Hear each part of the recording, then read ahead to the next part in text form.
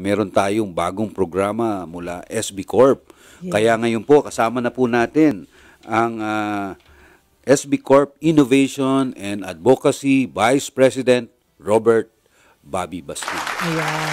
Hello po sa inyo, Good sir. morning, Bobby. Good morning, Cheryl and uh, Yusek Boy. Oo. Na-traffic ka ba ng konti? konti lang. Ina ba ang new normal or back to normal? Back to old normal. Totoo. Totoo. Pero kanina pa namin ini iniayabag ni Yusek Boy na may bagong proyekto po ang SB Corporation na Rise Up Multi-Purpose Loan. Sabi ko nga, uy, loan. Ting, ting, ting, ting, ting. Diba? Pag alam mo mga kapatid natin, negosyante, pag nangangailangan, gusto natin yung um, meron kang masasandalan or matatakbuhan pag nangailangan ng pondo. Pero ano po ba itong Rise Up Multi-Purpose Loan? Uh, ang actually yung Rise Up acronym yan eh. Ang ibig niya sabihin, resilient, innovative, sustain and sustainable enterprises uh, unleash your powers with SB Corp. Yan ang ibig sabihin. Uh, Sa kasi- Rise Up na lang ako medyo Oh, na lang. Kasi iyan ay para sa mga ngayon ay sila'y uh, tu- tuloy-tuloy nating aalalayan so that they can grow and fly and rise again. Ah, that's nice. Kumbaga yung tipong ano naka naka-survive lang, survival mode lang. Marami sa mga micro businesses po natin, MSMEs actually na parang ang thinking na nagpapasalamat din po tayo sa marami nating negosyante na hindi na iniisip yung kita. Wag lang magsara at mapanatili din yung trabaho ng mga tauhan nila. Pero- parang oo, makasurvive, diba? Maraming ganun, Yusek Boy. Pero anong ano ba ba bang pagkakaiba nito dito sa mga programa ninyo na existing ngayon? O yung mga naibigay niyo ng mga nakaraang buwan? Uh, n- yung kasing major program natin nito nakaraang dalawang taon, yung tinatawag natin Bayanihan Cares, Yeah.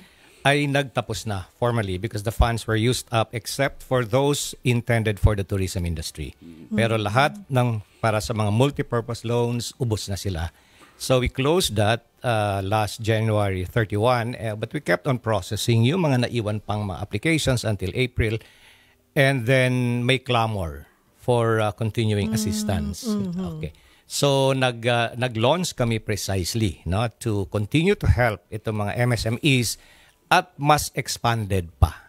No, mas expanded may mga expansion in terms of loan sizes at saka in terms of uh, yung- may mga ano, may mga relaxation ng ilang requirements, may mga ano, may and then uh, for the continuing uh, program for uh, the tourism industry, pina pinasa eh, pinaloob na namin din sa Rise Up So, program. mas inclusive na siya ngayon. Mas inclusive na siya at uh, mas uh, pati yung mga eligible sa tourism industries ay hindi lamang yung DOT accredited, kundi pati na rin yung mga uh, non-accredited, small and micro, pwede na rin. Mhm. Pero ano naman yung pwedeng utangin? Magkano at ah, hanggang saan? Ah, yung kasi yung Rise Up program consists of three sub-programs, no? Yung una nga ay yung multipurpose loan. Okay, Yan yung multipurpose. Rise Up multipurpose loan. And then yun yung i-discuss natin ngayong umaga. Oo, Okay. Yung Rise Up tindahan ay para especially for the retail chain, yung mga Okay. sari-sari stores hanggang grocery, supermarkets, dealers, distributors. At yung Rise Up Turismo ay para sa tourism industry. Okay. So yung dalawang huli ay specialized. Pero itong multipurpose loans ay para sa lahat ng klase ng maliliit na negosyo. Ah, yun yung at at may may kategorya yung multipurpose loans, meron yung micro loans, Okay. yung hanggang 300,000. Okay. Medyo madali mag-apply doon kasi para sa maliliit talaga yun eh. And then meron naman yung ah, SME loans. Pag SME kasi small and medium na yon. Yung isa micro. Yung small and medium, ang loan ceiling niyan for new borrowers ay 2 million but for existing borrowers yung mga suki na na-prove na nila yung kanilang you know responsibility sa pagbabayad kahit nga 6 months na track record lang sa pagbabayad eh they can borrow up to 5 million collateral free Wow. Ngayon, kung gusto pa nila ng higit pa ron hanggang 10 million, pero yung karagdagang 5 million, may collateral na yon. Okay. Kasi yan talagang aming uh, standing practice hanggang 5 million lang under Bayanihan Cares, yung pwedeng hiramin ng bawat ah, ah, negosyo. Eh, magkano naman ang interest niyan? Ah, i- i- iba-iba. Yung, yun ah, Iba-iba. sa micro muna. Yung micro, ma- ang maximum sa lahat ng klase ng loans ay 1% per month. 1% Pero yun per month. ay based on uh, declining balance. At pag sinabi natin declining balance, Yusek Boy, yun eh lumiliit ang actual na interest habang nagbabayad ka ng principal.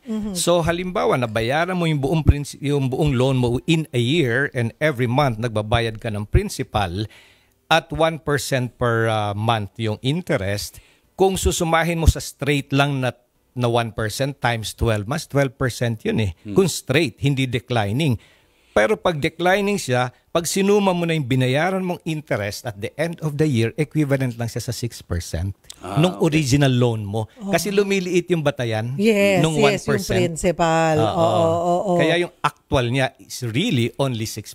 Okay. Tatlo po ito. Sabi nyo nga po ay Mm-hmm. micro multipurpose loan. Meron tayong SME multipurpose loan, Yes, Suki. yes. And then, eh, paano naman kung first timer? O pwede naman. Meron din. Meron din. Meron din po yung SME multipurpose loan first timer. And we're discussing now the micro multipurpose Yes, loan. oo. Okay, magkano po ulit yung pwede? Max, this is 300,000. 300,000 yung Okay. For uh, micro. micro. At sabi nyo po, mas madali. Mas madali. mga- At saka we found out na halos 80 to 90% of our loans ay talaga na, nasa ganyang sizes actually. 80? Yung number, yung number, Number. of borrowers. ay Pero in terms of total amount, malaki din naman yung remaining, remaining. Ah, Nagbabalanse sila eh. At saka actually syempre, well, mas responsable magbayad yung medyo mas malaki.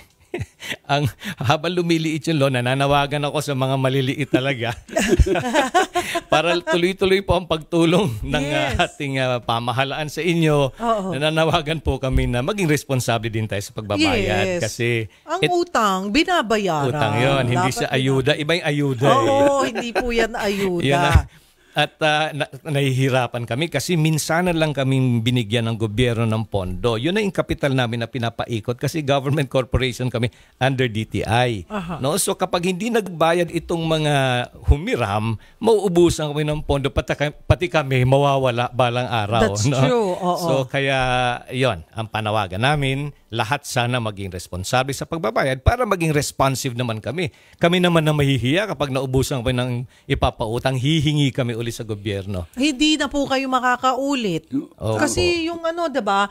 Um, dapat 'yan po inaalagaan nyo yung inyong credit uh, line, That's right, yung that's inyong right. yung inyong image kasi para bahagi 'yan eh ng negosyo. Yung umuutang ka, nagbabayad, sa susunod na uutang ka dahil maganda kang magbayad, responsable ka, makakautang ka na ng mas malaki. Ayun kasi nga. maganda ang record mo. That's right. Oo. Yun nga ang paradox sa pag-utang eh. Habang nagbabayad ka, hinahabol ka ng nagpapautang. Totoo. At habang nangangailangan ka pero hindi nagbabayad, iniiwasan ka. Oo.